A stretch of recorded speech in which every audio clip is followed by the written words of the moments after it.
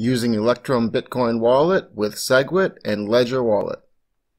Here I am at electrum.org.downloads. You can see the latest release is 3.0. This will work with Ledger Nano S and Ledger Blue. You can see I've already got it installed. I'll double click on the link.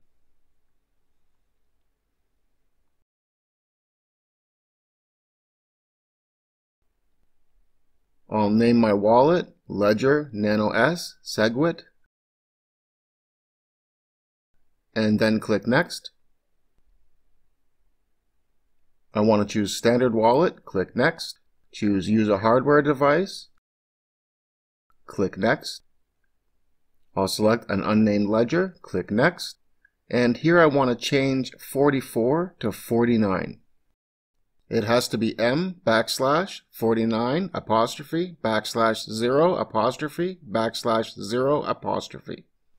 49 is for SegWit and 44 is for Legacy. So make sure that you have 49 in there and then click Next.